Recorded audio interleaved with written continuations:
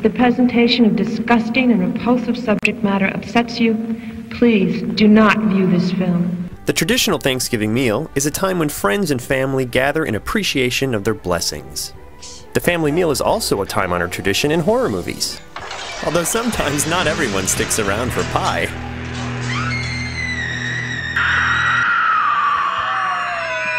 While a roast turkey is a standard for this holiday, some chefs aren't comfortable with the complicated preparation. Or with carving the bird at the table. So we've come up with a low-cost, last-minute alternative. Here's our recipe for a budget-friendly, cannibal-approved turkey meat face that's sure to turn heads at your table.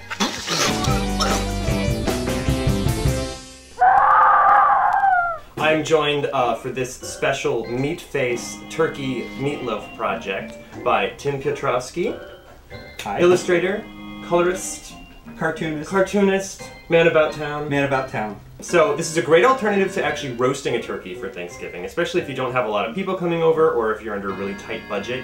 You could do this entire main dish for under $10. It's super cheap, it's really, really easy to do, and it looks disgusting. I guarantee you're gonna scare the shit out of anybody who comes to your house for Thanksgiving. Uh, so um, the, the other great thing about this recipe is you can actually use any turkey meatloaf recipe you have. And I also have a couple eggs boiling on the stove. You need to, need to hard boil probably a couple eggs just in case one of them doesn't come out right or you cut it wrong or something like that. So two or three just to be safe. Uh, and preheat your oven to bake your meatloaf. And we're gonna put it together here. You ready? Yeah, I'm ready. A really good tip is to always sharpen your knife before cutting anything. And here's a really quick way to sharpen your knife. Taking your rasp at about 45 degree angles, you want to do 5, 4, 3, 2, 1. So it's 5 on both sides, 4, 3, 2, 1. Now you're ready to dismember any family member. So we're just cutting up some, we cut up some celery and we're cutting up some pepper. I say we, but it's Tim that's doing it because he's got the sharp knife. Um, and some onion to kind of, you know, break up the mush of it a little bit. When you're cutting up your onion, uh, make sure to reserve a couple of the layers, the outer layers, as solid pieces because we're also going to be using those to create the teeth. Yes, I'm going to show you how to make it easy to chop an onion. So what you're going to do, take your onion, cut it in half. Where the green part grows off and you've already trimmed off, what you want to do is take your sharp, sharp knife, cut in several times like this, and it doesn't take years and years of practice to learn this either. And you cut down here,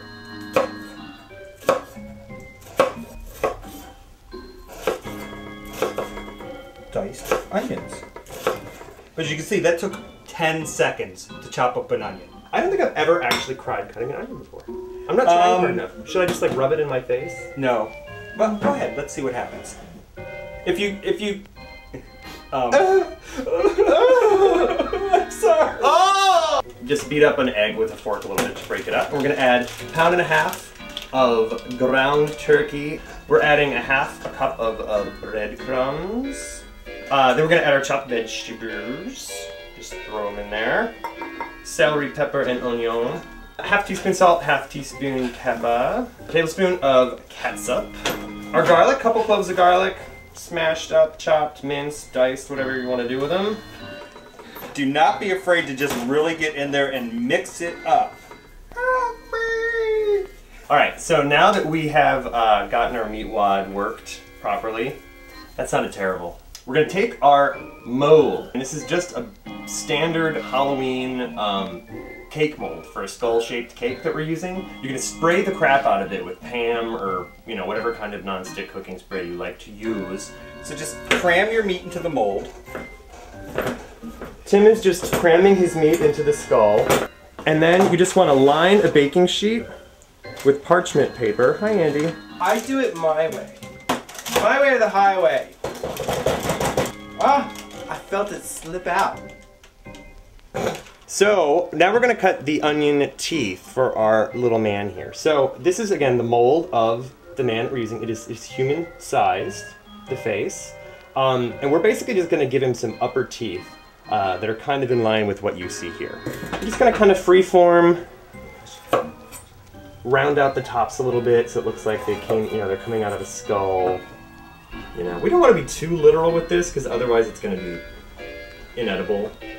That should probably be enough to get across. Wow, that's huge. Yeah, he's got one big ass tooth. Ladies and gentlemen, the perfect meat wad.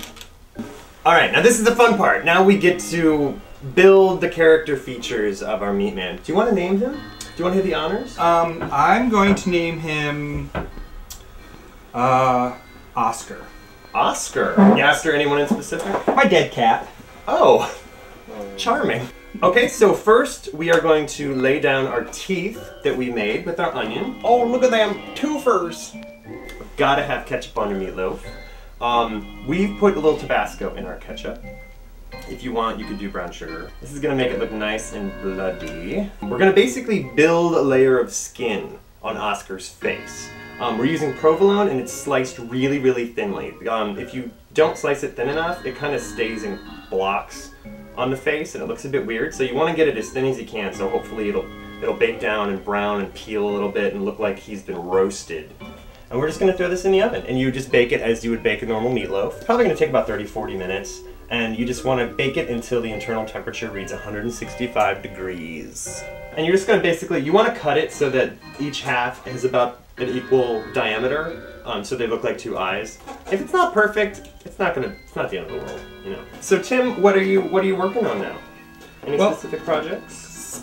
Specifically, I am going to start coloring a comic for Marvel written by Tim Fish, um, who I've colored other works of his. He just came out with a new book called uh, Trust Truth, um, and I did the coloring for the short story that Voodoo You Do So Well at the back. Um, and then he got a story, an eight page story about Northstar for the Nation X anthology that's coming out in January. I'm working on a lot of my own projects. 13 years ago, I came out with uh, three issues uh, of a comic book called Glitch. It's uh, a gay romantic comedy. So now I've decided to go back and take the first three issues, sort of rework them a bit. They're a little outdated, like nobody had cell phones back then, and Yeah. I just feel that's unrealistic. Um, and I don't draw the same way anymore. So I'm going to update the story a little bit. I have a website. It's my online portfolio for both illustration and comics. And you can actually go there, and in the comics section, I have PDFs of the first three issues of Glitch that you can download for free. And uh, as you can see, he looks just delicious, um, fresh-faced and beautiful. And we're just gonna let him rest for about 10 minutes or so before we uh, move him to a rack and put his eyeballs in. Ugh. You've got your guide kind of from the uh, the mold still, if you can see through your cheese. And if any cheese comes off, just eat it. Any skin comes off. There you go. Just kind of root around in that um Just, you know, kind of drill root it out. Root know. around in that socket a little. And then you just plug in your eye.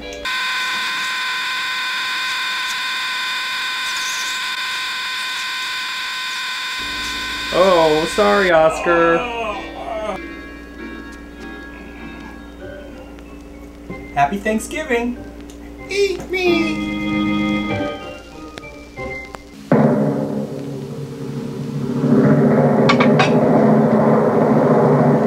Ladies and gentlemen, the perfect meatloaf.